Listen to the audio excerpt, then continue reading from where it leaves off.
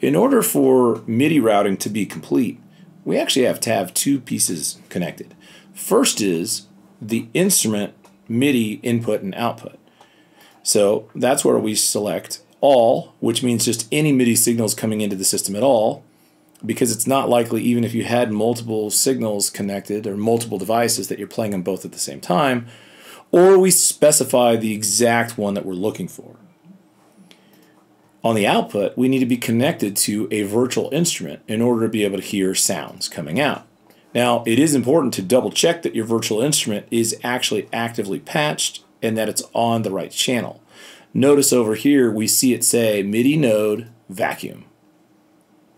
When it comes to more complex virtual instruments, we also then have to make sure that the channel input is corrected. So you'll notice on here it says vacuum 1.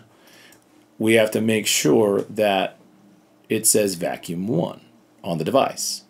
Because once we have more than one MIDI track, you'll start to see that, especially if there's more than one vacuum, you'll see multiple vacuums listed and you'll have to keep track of making sure every one of them are routed to their specified vacuum. So if I zoom down here, I see I just duplicated all these tracks. Now I see vacuum 2, vacuum 3, vacuum 4, and I need to make sure that in my plugin window, that is vacuum 4.